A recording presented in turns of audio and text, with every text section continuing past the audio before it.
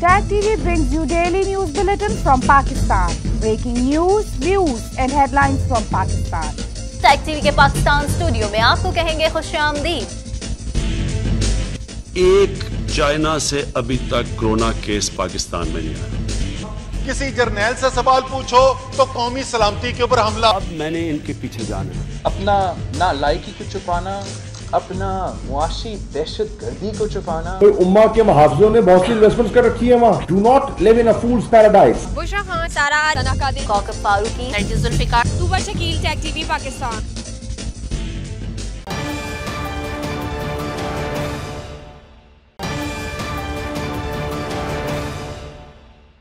अस्सलाम वालेकुम नाजीन tag TV के पाकिस्तान स्टूडियो से मैं हूँ बुशा खान। सबसे पहले शामिल करेंगे न्यूज़ हेडलाइंस। 9 मई लेफ्टिनेंट जनरल समेत तीन आला फौजी अफसरान बरतरफ डीजीआईएसपीआर का कहना था कि तीन मेजर जनरल और सात ब्रिगेडियर्स के खिलाफ सख्त तादीबी कार्रवाई की गई। नौ मई सानहा फौज ने खुद करवाया। इससे ज़्यादा शर्मनाक और अफसोसनाक बात नहीं की जा सकती। नवाज़ शरीफ की वतन वापसी का मामला वज़ीर अजम ने कानूनी टीम तश्कील दे दी। सबक वज़ीर अजम नवाज़ शरीफ की वतन वापसी से मुतालिक कानूनी मशावरत मुकम्मल, दुबई में पाकिस्तान के बड़े सियासी रहनुमाओं की बैठक। बेनज़ीर इनकम सपोर्ट के दफ्तर के बाहर भगदड़ मचने से 20 खवतान बेहोश। रेस्क्यू टीमों ने एम्बुलेंसेस के ज़रिए खवतान को अस्पताल मुंतकिल कर दिया। विफाकी वज़ीर सेहत अब्दुल कादिर पटेल ने वाक़े का नोटिस ले लिया के इलेक्ट्रिक को कौमी तहवील में लिया जाए। हाफिज रहमान का कहना है कि के इलेक्ट्रिक 2018 से एन टी डी सी का नादहंदा है, लेकिन इसका लाइसेंस मनसूख नहीं होता। के इलेक्ट्रिक को कौमी तहवील में लिया जाए और फॉरेंसिक ऑडिट किया जाए। हेडलाइंस आपने जानी और अब खबरें तफसील के साथ। Laundry is no longer a hassle. Just toss an EcoFresh detergent strip into the washer for a convenient, eco-friendly yet powerful wash. Hypoallergenic, safe for sensitive skin. Say no to bulky plastic jugs and bottles. No more measuring and spilling. Just one strip for a load. Simple and squeaky clean. Plastic-free, biodegradable packaging. Organic, paraben, phosphate, dioxane, and cruelty-free. Order now at www.ecofreshcanada.ca or at Amazon. क्या आप Canada की immigration और citizenship लेना चाहते हैं या Canada में study करना चाहते हैं लाइटो इमिग्रेशन न सिर्फ़ आपको कनाडा की इमिग्रेशन और सिटीजनशिप दिलवाने में आपकी मदद कर सकते हैं, बल्कि आपको कनाडा में सेटल और इन्वेस्ट करने के रास्ते भी सुझा सकते हैं Lito Immigration is a regulated Canadian immigration consultant. We deal in study, work, PNP, and PR visas. Get startup visas, work permit, and business visas. We rise by lifting others. Lito Immigration. DGISPR ने कहा है कि नामाई वाक़ात में मुलविस कोई भी शख्स चाहे वो किसी इदारे से वाबस्ता हो और समाजी वाबस्तगी रखता हो उसे मुआफ़ नहीं किया जाएगा मजीद जानेंगे इस रिपोर्ट में पाक फौज के शोबा ताल्लुकात आमा के सरबराह मेजर जनरल अहमद शरीफ ने रावलपिंडी में न्यूज़ कॉन्फ्रेंस करते हुए कहा कि नौ मई का सानहा पाकिस्तान के खिलाफ बहुत बड़ी साजिश थी, जिसे पाकिस्तान की तारीफ़ में ना भुलाया जाएगा और ना ही मुलविस अनासर मनसूबा साजों सहूलतकारों को मुआफ़ किया जा सकता है। D G I S P R ने कहा है कि सानहा नौ मई पर लेफ्टिनेंट जनरल समेत तीन आला फौजी अफसरान को नौकरी से बरतरफ कर दिया गया। उनका कहना था कि खुद एहतसाबी के अमल को मुकम्मल कर लिया गया है। Garrisons G H Q Jinnah house और फौजी तनसीबात की सिक्योरिटी में कोताही और उनका तकदस बरकरार रखने में नाकामी पर फौज में बिला तफरी खुद एहतसाबी का अमल किया गया। लेफ्टिनेंट जनरल समेत तीन आला फौजी अफसरान को नौकरी से बर्खास्त कर दिया गया। पंद्रह अफसरान के खिलाफ सख्त तादीबी कार्रवाई मुकम्मल की जा चुकी है, जिनमें तीन मेजर जनरल और सात ब्रिगेडियर्स शामिल हैं। फौज में जितना बड़ा अहदा होता है, उतनी ही बड़ी ज़िम्मेदारी निभानी पड़ती है। उन्होंने कहा कि फ़ौज के एहतसाबी अमल में किसी अहदे या माशरती हैसियत में कोई फ़र्क नहीं रखा जाता। फ़ौज क्लियर है, नौ मई के वाक़ात में मुलविस किसी जुर्म और सहूलत कार को नहीं छोड़ा जाएगा। इस वक्त एक रिटायर्ड फोर स्टार जनरल की नवासी और एक रिटायर्ड फोर स्टार जनरल का दामाद, एक रिटायर्ड थ्री स्टार जनरल की अहलिया एक रिटायर्ड टू स्टार जनरल की बेगम और दामाद उस एहतसाबी अमल से नाकबिल तरदीद शवाहिद की बुनियाद पर गुजर रहे हैं। उन्होंने कहा कि सानहा नौ मई की मनसूबाबंदी पहले से चल रही थी, जिसके तहत लोगों के जज्बात को उभारा गया, शरंगेज बयानी से लोगों की जहन साजी की गई।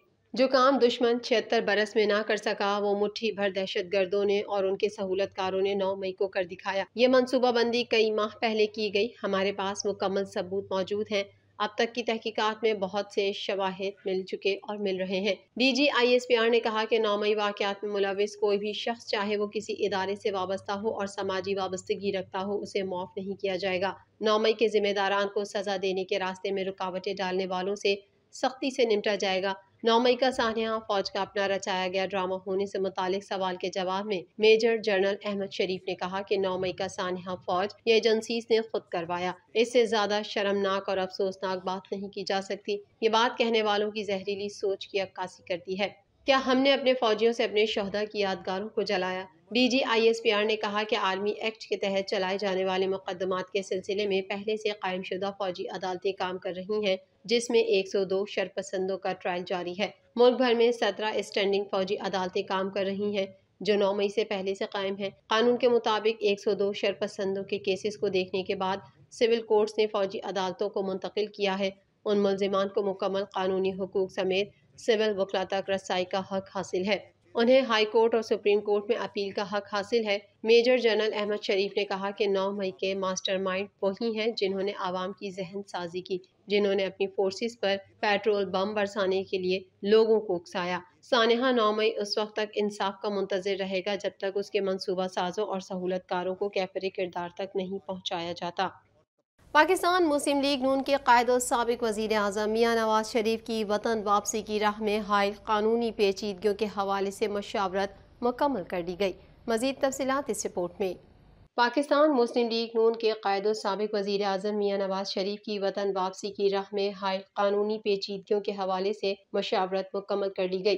वज़ीर अजम शहबाज शरीफ ने मुस्लिम लीग नून के कायद नवाज़ शरीफ की वतन वापसी मुमकिन बनाने के लिए कानूनी टीम तश्कील दे दी। ईद के फौरी बाद वकला की जानब से वकालतनामे नवाज़ शरीफ को लंदन भिजवाए जाएँगे। नवाज़ शरीफ की वतन वापसी से कबल इस्लामाबाद हाई कोर्ट में हिफाजती जमानत दायर की जाएगी। जराये का मजीद कहना है कि नवाज़ शरीफ हिफाजती जमानत मिलने पर लंदन से पाकिस्तान के लिए ट्रेवल करेंगे। हिफाजती जमानत के दौरान ही सजाओं के खिलाफ अपीलों पर फैसला कराने की कोशिश की जाएगी। जराये के मुताबिक, अगर जेल जाना कानून ज़रूरी हुआ तो नवाज़ शरीफ के घर को सब जेल करार दिया जाएगा। मुस्लिम लीग नून के जराये के मुताबिक सबक वज़ीर आज़म और कायद नून लीग की वतन वापसी की राह में हायल रुकावटें दूर करने के लिए वज़ीर अजम शहबाज शरीफ ने कानूनी टीम तश्कील दे दी है। पार्टी जराये के मुताबिक वज़ीर कानून सैनिटर आज़म नजीर तारड़ कानूनी टीम की सरबराही करेंगे, जबकि मुआवन खसूसी अताउल्ला इरफान कादिर और कानूनी मुशीर कमेटी में शामिल होंगे।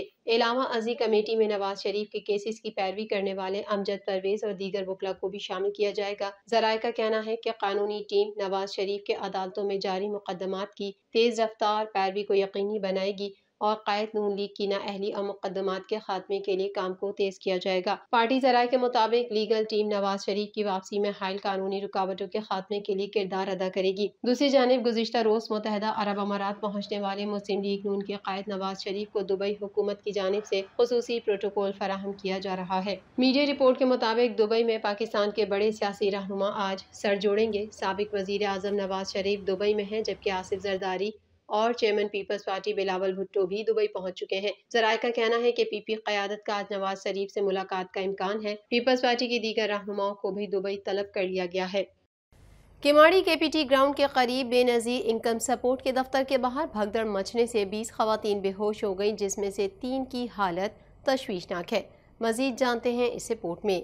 किमाड़ी केपीटी ग्राउंड के करीब बेनज़ीर इनकम सपोर्ट के दफ्तर के बाहर भगदड़ मचने से 20 खातन बेहोश हो गईं, जिनमें से तीन की हालत तशवीशनाक है। कराची में केपीटी ग्राउंड के करीब बेनज़ीर इनकम सपोर्ट प्रोग्राम के मरकज़ में भगदड़ मच गई। भगदड़ के नतीजे में वहाँ मौजूद बीस खवतान जख्मी हो गई तफसीत के मुताबिक कराची में किमाड़ी के इलाके के पी टी ग्राउंड के करीब स्कूल में बेनजीर इनकम सपोर्ट प्रोग्राम के दौरान भगदड़ मच गई। अफसोसनाक वाक़े में बीस खवतान जख्मी हो गई रेस्क्यू टीमों ने एम्बुलेंसेज के ज़रिए खवतान को अस्पताल मुंतकिल कर दिया। भगदड़ से मुतासर तीन खवतान की हालत तशवीशनाक है। विफाकी वज़ीर सेहत अब्दुल कादिर पटेल ने के पी टी स्कूल किमाड़ी में B I S P program में भगदड़ का नोटिस लेते हुए कहा कि D G B I S P को हिदायत की है। आइंदा कोई प्रोग्राम मुकामी अमायदीन के बगैर न रखा जाए। अब्दुल कादिर पटेल का कहना था कि एक खातून के अलावा तमाम खातन की हालत खतरे से बाहर है। इलाका पुलिस के मुताबिक के पी टी स्कूल में बेनजीर इनकम सपोर्ट प्रोग्राम का कैंप लगा था, जिसके बाहर खातन और बच्चों की बड़ी तादाद मौजूद थी। पुलिस ने बताया है कि स्कूल का गेट खोला तो अंदर जाने के लिए भगदड़ मच गई। अमीर जमात इस्लामी कराची हाफिज रहमान ने कराची को बिजली फराहम करने वाली कंपनी के इलेक्ट्रिक को कौमी तहवील में लेने का मुतालबा किया है। मजीद अहवाल इस रिपोर्ट में। अमीर जमात इस्लामी कराची हाफिज रहमान ने कराची को बिजली फराहम करने वाली कंपनी के इलेक्ट्रिक को कौमी तहवील में लेने का मुतालबा किया है। हाफिज नईम का कहना था कि, के इलेक्ट्रिक 2018 से national transmission and dispatch company का ना नादहंदा है, लेकिन इसका लाइसेंस मनसूख नहीं होता। हाफिज रहमान ने न्यूज़ कॉन्फ्रेंस करते हुए कहा कि नेपरा कवानीन में मौजूद है कि अगर किसी इलाके में कोई ना नादहंदा है तो के इलेक्ट्रिक इलाके की बिजली बंद नहीं कर सकता? मगर नेपरा कवानीन पर अमल दरामद ही नहीं होता। उन्होंने बताया कि इस दफ़ा के इलेक्ट्रिक को तारीखी 170 अरब रुपए की कौमी खजाने से सब्सिडी दी गई, लेकिन इससे आवाम को कोई फ़ायदा नहीं। के इलेक्ट्रिक को कौमी तहवील में लिया जाए और फ्रांसिक ऑडिट किया जाए? मजीद खबरें भी बुलेटिन का हिस्सा होंगी इस ब्रेक के बाद। TV brings you daily news bulletin from Pakistan. Breaking news, views and headlines from Pakistan. Tag TV के पाकिस्तान स्टूडियो में आपको कहेंगे खुश आमदीद